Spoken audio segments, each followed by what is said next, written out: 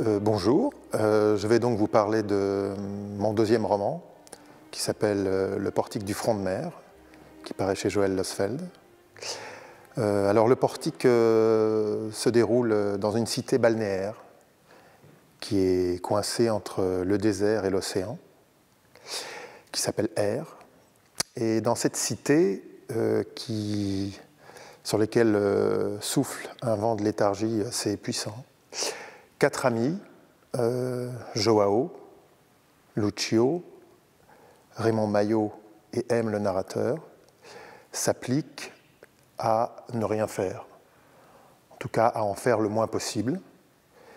Euh, donc l'essentiel de leurs activités, euh, c'est se retrouver aux Zanzibar, qui est leur QG sur l'avenue qui borde l'océan, boire des bières, manger des fritures de poulpe, parfois jouer au Igo, qui est une sorte de jeu de go euh, futuriste. Euh.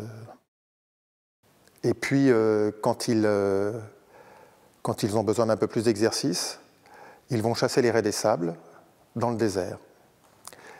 Et alors, c'est précisément en revenant d'une de ces chasses qu'à la limite de la ville et du désert, ils sont les témoins pour la première fois d'un mirage. Euh, donc c'est une sorte d'apparition comme ça, fantastique, très belle.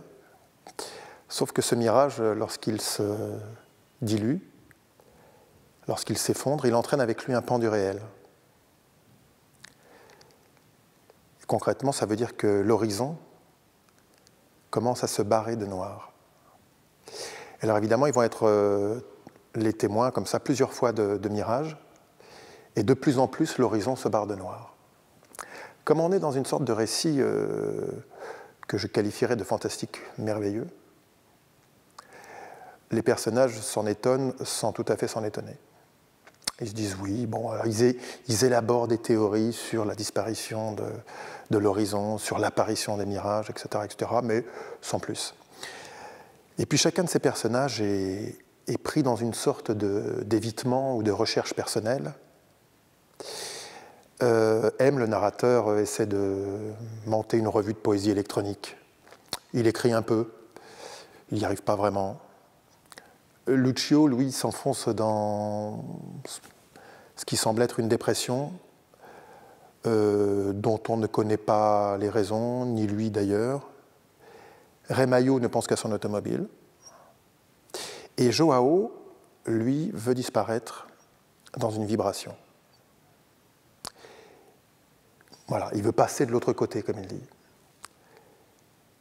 Et puis il finit par disparaître. Et à partir de ce moment-là, les choses prennent un tour euh, funeste.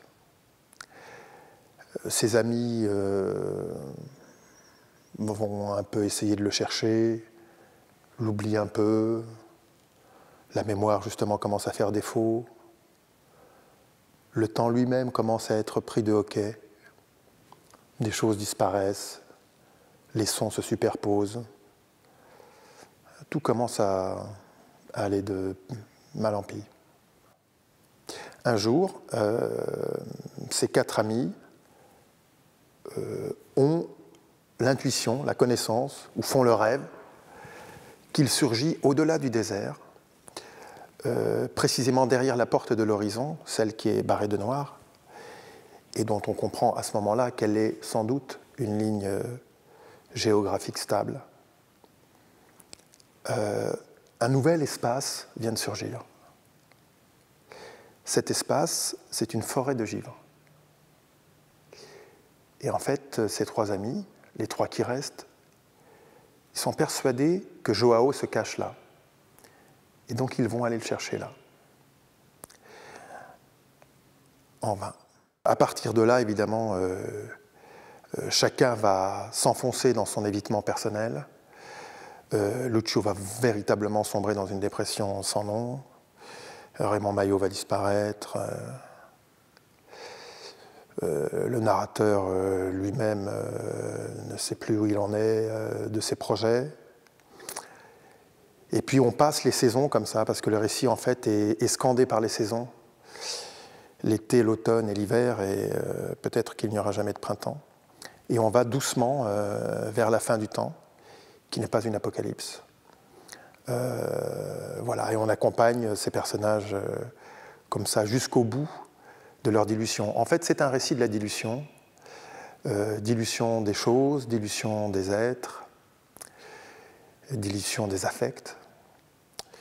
Et ce que je dois dire pour, euh, pour conclure sur ce, sur ce récit, c'est qu'il m'a été inspiré, qu'il s'appuie en fait sur un, autre, euh, sur un autre texte, un très grand texte d'un, auteur de science-fiction anglais qui s'appelle James Ballard. Et James Ballard euh, a fait un recueil de nouvelles qui s'appelle Vermilion Sounds. Et j'ai été, alors là c'est pareil, hein, c'est euh, vraiment une série de récits euh, euh, dans une cité perdue dans les sables et prise sous, le voile de la, léthargie. et j'ai été tellement nourri et tellement impressionné par la, suite de ces, de ces nouvelles qui m'a accompagné moi depuis plus de 20 ans. que j'ai souhaité construire un récit qui partirait, qui s'appuierait sur les paysages que finalement la lecture de Vermilion Sands avait, fait germer euh, en moi. Euh, c'est vraiment ça le principe, et j'ai essayé de construire un récit singulier à partir des images euh, que Vermilion Sands avait fait germer. Alors pour lui rendre un hommage clair, parce que je voulais vraiment montrer ça, je voulais montrer cette double, cette influence très nette, et, j'avais envie qu'il y ait même un effet de superposition de lecture. Euh, j'ai donc emprunté à Vermilion Sands un personnage, qui est Rémaillot, et puis plusieurs éléments de décor, les raies des sables, le jeu du higo, etc. etc. Et j'ai essayé, à partir de là, euh, de développer, moi, un récit singulier, je l'espère, euh, qui donc s'appelle Le portique du front de mer. Je vous remercie.